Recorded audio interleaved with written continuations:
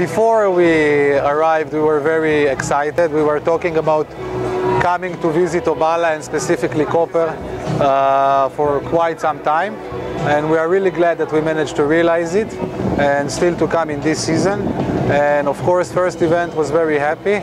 Therefore, we are was very successful. Therefore, we are looking forward for what future can bring. And here we are again today, and hopefully we can come to visit Koper uh, more times and more often in the future. Every event we are working on separate, uh, it depending also on uh, other events that we have already scheduled. Uh, definitely we will inform through all possible ways the people before each and every event. We cannot set a date, but we hope to come at least one more time this season in the autumn time.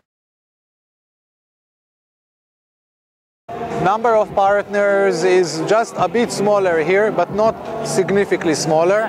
Uh, but in terms of uh, partners, the restaurant, their experience here, they're all very positive. They are saying that the people here are very kind, and they were very glad uh, to be here last time. And I think this is one of the main reasons why they decided to come again.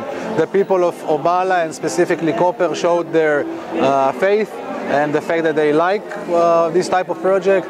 And this is all what we need to know in order to come here again in the future.